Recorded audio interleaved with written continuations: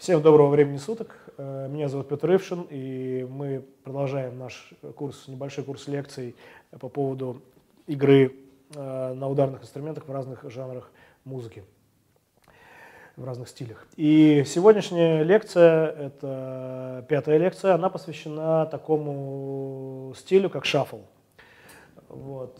Шаффл – это такое, такое направление, такой стиль, который, э, в общем, как и блюз – прошел через э, очень многие другие жанры музыки. То есть шаффл можно встретить, например, и в джазовом э, обрамлении, и в джазовой стилистике. Фанк, шаффл можно встретить и в, непосредственно в самом блюзе, и в рок-музыке, и вообще очень много где, и даже, даже вот музыканты стиля фьюжн и джаз-рок тоже обращались иногда к этим ритмам.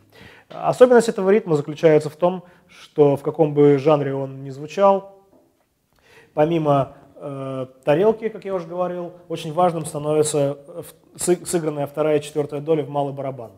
То есть это, это как бы добавляет просто ритм фундамента, и это, это настолько же важный элемент этого, этой фактуры, как и тарелка э, в джазе. То есть то, от чего лучше не уходить, и даже если вы делаете какие-то заполнения, все равно возвращаться к этому Э, к этому, к, к игре этих долей. И сейчас для, для демонстрации э, джазового шафла мы сыграем э, одну из джазовых тем. Ну и, собственно, мы, мы начнем.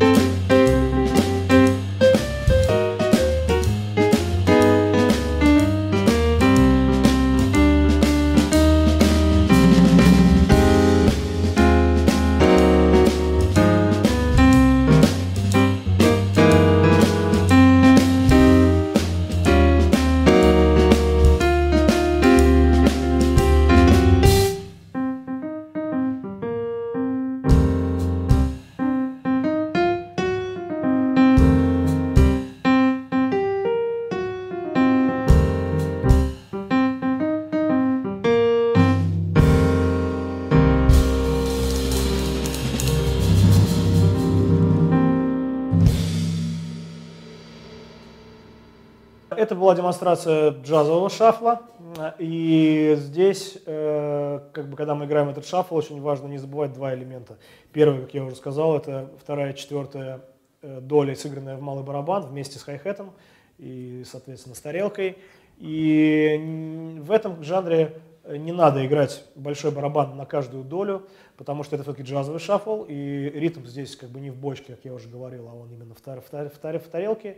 И также не надо увлекаться каким-то большим количеством разных филов, заполнений, э, которые э, нарушают реальную пульсацию, там, переходы в какие-то другие 16 э, дробления или что-то еще. Это все немножко будет мешать игре. И то, что важно в этом, скажем так, ключе, в этом жанре, это очень важно то, что его нужно играть достаточно эмоционально, то есть прикладываясь достаточно мощно к инструменту, достаточно плотно, вот, и минимально по количеству нот и каких-то других движений.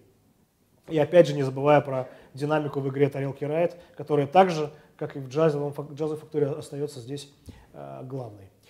Э, наряду с малым барабаном, который добавляется, как я уже говорил ранее.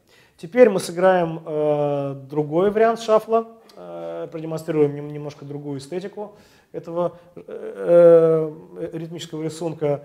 И это будет такое, скажем так, обращение э, музыкантов из э, стилистики фьюжн и джаз-рок э, к этому стилю, э, к, к этому как бы ритмическому рисунку. Вот. И вот мы сейчас сыграем другую пьесу, в которой будет продемонстрирован именно такой фьюжн шаффл.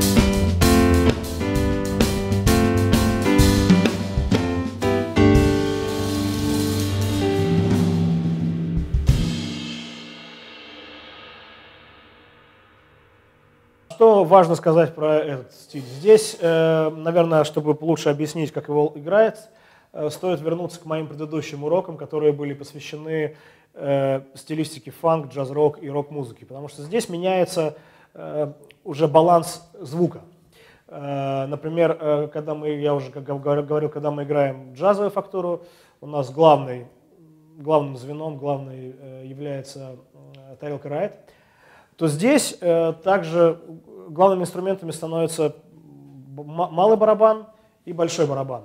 Большой барабан здесь играет в каждую долю, да, и очень важно, вот так же, как в свинге, важно, чтобы примерно одинаковые по звуку были звук, э, как бы пульсация в тарелке райт. Здесь важно, чтобы удары в малый барабан на вторую и четвертую долю были настолько же точными по звуку и по времени, как игра тарелку, в тарелку райт, на, на тарелке райт джазовой фактуре. И, соответственно, когда мы играем по железу в этой музыке, когда мы играем по хай-хету или по другим инструментам железа, и вообще оно должно звучать в этом жанре тише, чем барабаны. То есть если в джазе, например, у нас э, э, тарелки должны звучать громче, а барабаны должны как бы дополнять, они должны по, по динамике быть тише, то в этом жанре все меняется. Э, хай-хет и железо становится тише, а барабаны выходят на первый план. Это, кстати говоря, также справедливо и про рок-музыку, если говорить. Ну и в завершении тема, темы шафла мы сыграем еще один шафл, который... Э, это, этот ритмический рисунок э, был придуман выдающимся фанковым барабанщиком Бернардом Пердью. И, и это такой шафл, это он так называется, э, шафл, как бы э, Бернард Пердью шафл. И это шаффл как бы в двойном времени, то есть это в half, half time шаффл э, в дубле назад. И мы просто немножко поиграем, какой-то джем э, вот в этом ключе. И я вам продемонстрирую, как играть этот шаффл.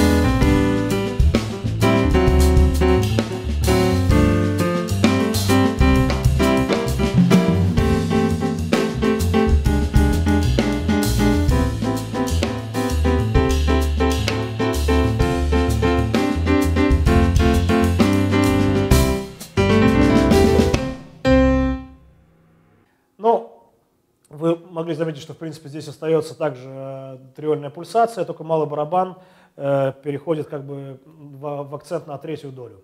Раз, два, три, четыре, раз, два, три, четыре. Оста остальной принцип остается точно таким же, как и для предыдущего шафла. То есть в плане звука все остается так же. Малый барабан и большой барабан на первом плане. На втором плане железо, хай-хет, как э, какой-то элемент, который украшает основ, основной ритмический рисунок. То есть мы подобного рода шафлы тоже играем э, в такой фанковой стилистике, в роковой стилистике, вот, э, ближе к этому э, жанру.